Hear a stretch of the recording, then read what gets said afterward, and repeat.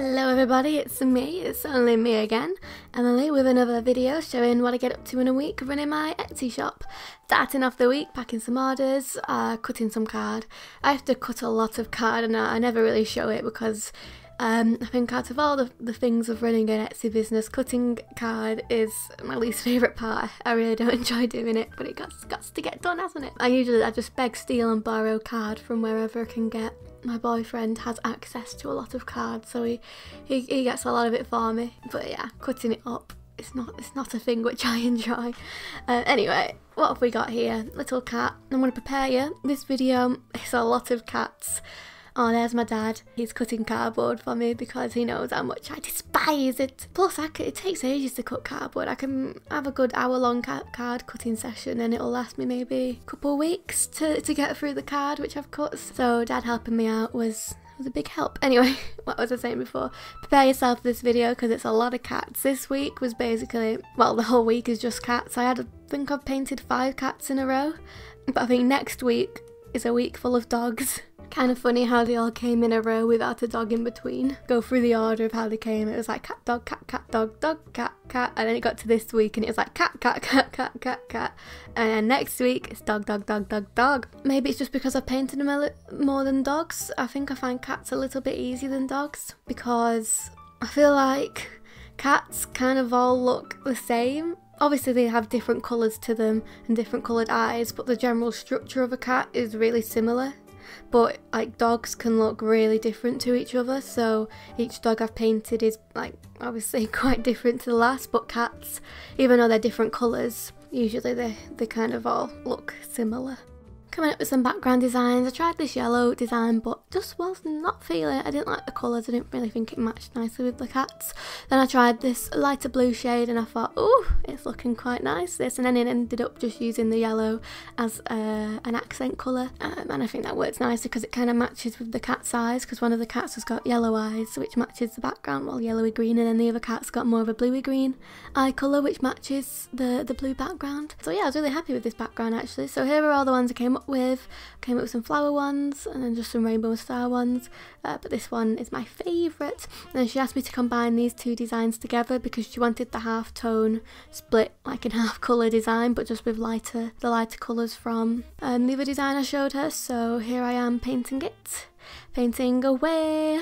I paint all the backgrounds in acrylic paint and here I am with my right angled ruler because I've got to get those precise lines and those precise angles, 90 degrees, that's what I want in my paintings. I paint all the backgrounds in acrylic paint, um, Newton, that's the brand I use. Um, I think they're nice but I haven't really used any other acrylic paint so I don't have anything to compare them to and obviously I paint the animals in watercolour. I think the acrylic and the watercolour go together really nicely because the acrylic are doing like quite a flat block colour and then the watercolours are like layered up and obviously a lot of shading and I just think they complement each other very nicely. Sometimes I go in with detail with just coloured pencils.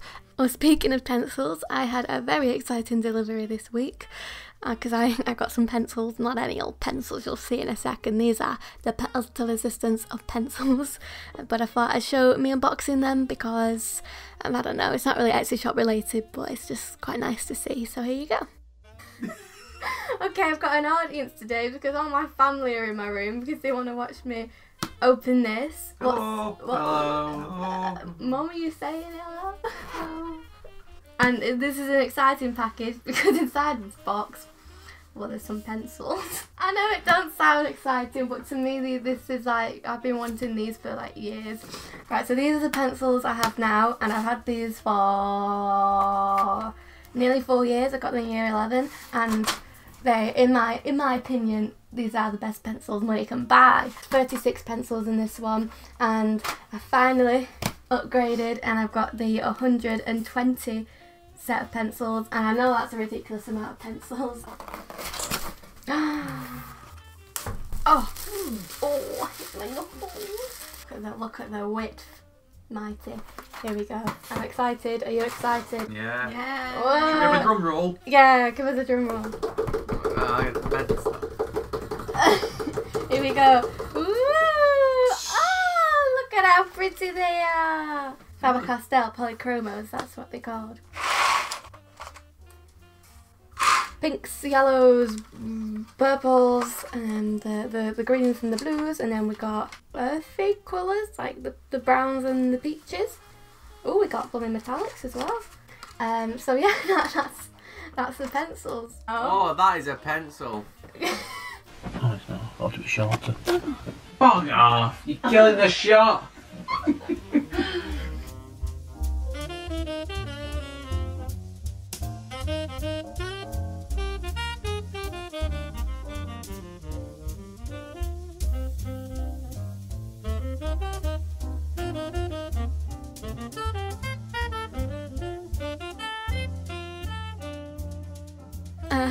Quite apparent from that little short clip of me unboxing them that I was ecstatic. I was over the moon about getting these pencils because I have been wanting them for such a long time, and I really do think they are amazing pencils. I know there's um, also Prismacolor pencils, which are kind of on the same league as the Faber-Castell are the same in quality. I think the the polychromo pencils, what am I saying? No, the Prismacolor pencils, I think have a softer colour bit lead, which means you have to sharpen it a bit more often, which is one of the main reasons I went for the Faber-Castell polychromos instead of the Prismacolors. But I think they're pretty much neck on neck pencils. Um, anyway, very excited about them. I did a little colour swatch thing as you saw before because I just I just wanted to see all the colours all nice and pretty on a piece of paper. Getting back on with usual content, uh, back on with the painting of the animals.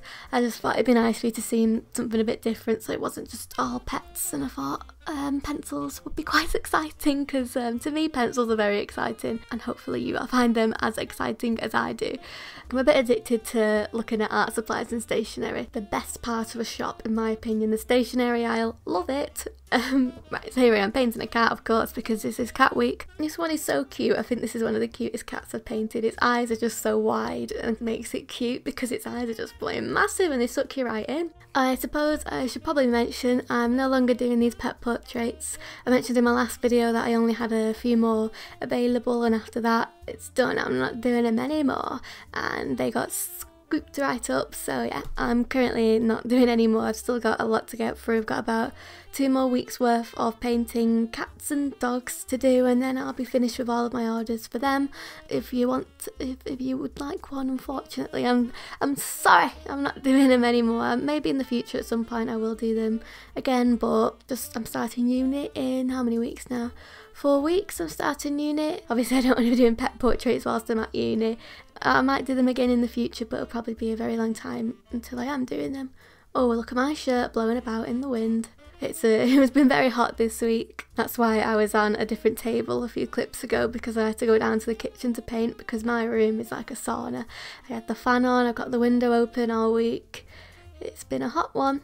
And for this cat, I went for a nice light blue background, which I thought looked very nice against because it was quite an orange cat, and um, orange and blue complementary colours, so the blue helped make the cat pop. Getting my pencils out. Look how cute my pencils looked. They look so adorable, all tucked up next to each other.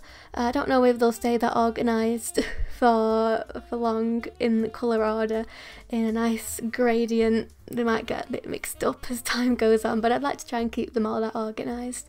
Uh, I think this cat's really cute. This is one of the, the, the favourite ones I've painted actually. I think the background really, really pops.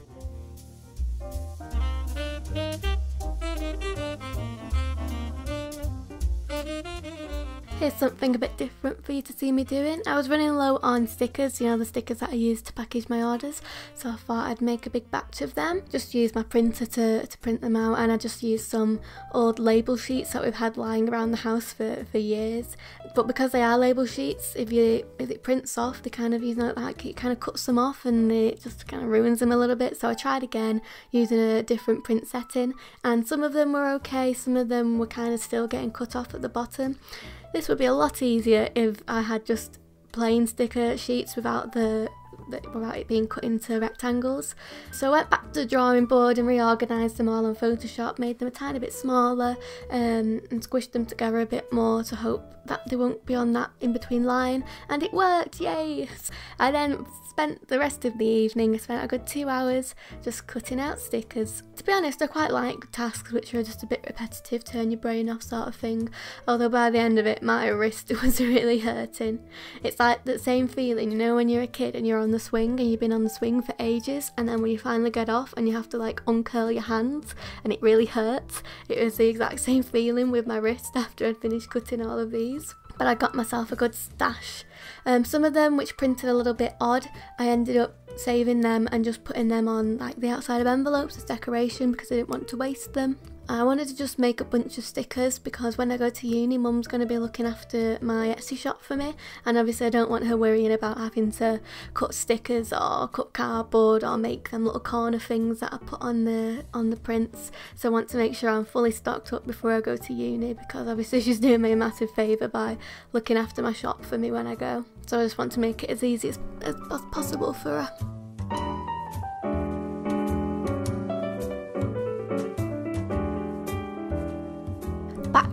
Back packing, back to good old packing. Got some prints orders and I also had to pack the painting that I did of the cats. I had someone ask me in the last video where I buy them little corner pieces from that I put on the on the edges of the prints, um, but I actually just make them. What I do, I just fold up a piece of card around a corner and tape it and then cut it to shape because I need to maximize how do I word this? Maximize the safety. No, what's the word? I just want to maximize how safe my prints are when they're getting sent off in in the packaging in the world of the post people i want to make sure it stays safe and doesn't get bent but i also need to minimize costs because i can't be spending a bunch on packaging because i don't really have the money to spend because i quite like to get the fancy envelopes which have um, cardboard in the back, like the do not bend envelopes, but they're really expensive. So I have to just beg, steal, and borrow cardboard and do what I can with what I've got to make them, to make sure they get to where they need to go as safely as possible. There we go, that's how to word it. Uh, so that's that. The corner pieces have definitely helped because I used to not do that and I feel like when I send them off now with the corner pieces, they're much safer. Oh, you see that little orangutan print there? I was really worried that no one would want it because, well, this this is the first time it's ever sold a print, and I was like, oh, nobody wants my orangutan, boo hoo hoo. Uh, when I finally got an order for my little orangutan, I was over the moon. I was like, yay, somebody actually wants it. Because some prints sell a lot better than other prints. I know my peaches sells really well, my postcards just sell quite well, and then there are other prints like that orangutan which don't really sell very well, and it's just a learning curve, I suppose. Because whenever you buy prints, it's you just never really know how many people are actually going to want it. Um, landscapes do alright as well. They're the most popular ones, but it's just a learning curve, like I said, to know what sells and what doesn't. Moving on to the final painting you'll see me doing in this video and of course it's another cat because it's cat week. Uh, it's not the final video I did, what? Got my words really mixed up then. It's not the final painting I've done this week. I've, I've since done another painting after I've stopped recording all the clips for this video and I'll probably do another painting tomorrow so I'll probably get two more paintings done this week but the video is getting long enough as it is so I just finished with this one. These videos are getting so long lately. I remember back in the day I used to think when I did a five minute video that that was quite long and now I'm here doing nearly 20 minute long videos. Wowza. Hope you like these longer videos you don't find them boring. I usually prefer longer videos, they're the ones I like to watch most, so hopefully you do too. Right, so I finished painting, uh, here we go, this is it. I'm doing a bit of real time speaking right now because I thought it'd be nice to take you along whilst I'm coming up with background ideas. But I'm going to take you on over to the screen recording and uh, I'll carry on from there. Hold on, let me just connect my, uh, my drawing tablet up. Here we go, and there we go. Uh, so she did mention to me in an email that she liked the colour palette of this painting I did. She also said to me, feel free to, if you think something looks nicer, why not, you know, give it a go. So I'm going to give her a couple options, including that colour palette, and we'll see which one she likes the best. And if you hear any background noise, it's because the fan's on and my window's open because it's, it's warm. And my dad's also in my room. He's helping me cut, you know, them little corner pieces that I put on my orders. Cutting corners. He's cutting corners for me because he's a he's a love, isn't he? First off, let's just try the colour palette that she quite likes. I kind of left the body down here a bit of a mess, if I'm being honest, but I just figured I'll paint over it when it comes to the background. Sometimes I do like wiggly shapes around the pet and sometimes I do like a square and it just depends which one I'm feeling. I'll also do like a couple options for the person who buys it. I usually give like a square option or a wiggly option. Sometimes it takes me a while to figure out what shape I actually want around the pet. Some it comes quite easily and other times I just can't figure out a nice shape. Mm, don't know if I like that shape. Let's get rid of it and try again. Okay, so I've come up with this thing. I just went for a just went for a square.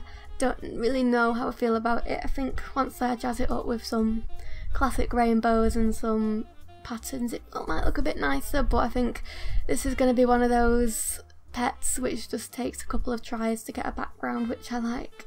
Some pets it comes really easy, and I can I can have a background designed like a couple, like a good three background designed in like 20 minutes, and other ones I'm slaving away over just one which I don't really like for like half an hour.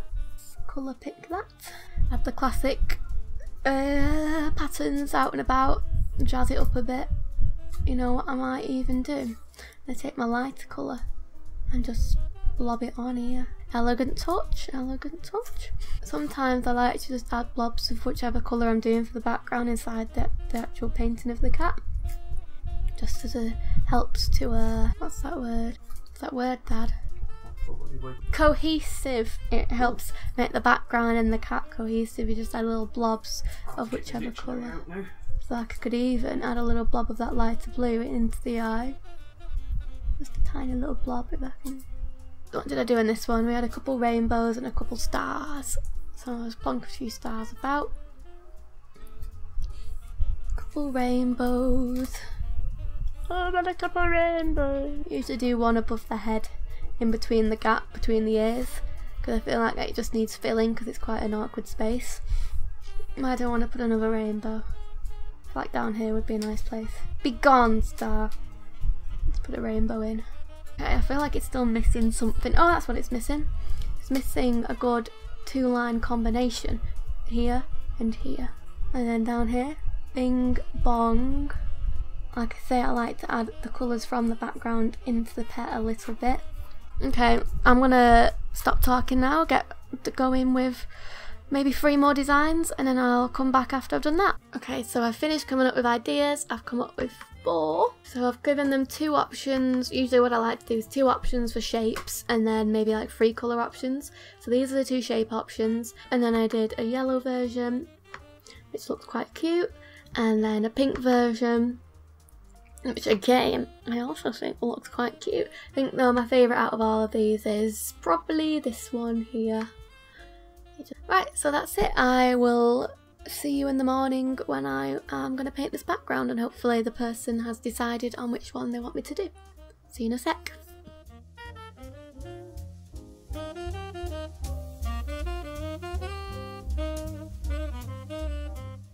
Finally, here I am painting the background. She did ask me, well, she ended up going for that dark green painting, um, dark green background design, but she asked me to make the green a little bit lighter, so I did that for her.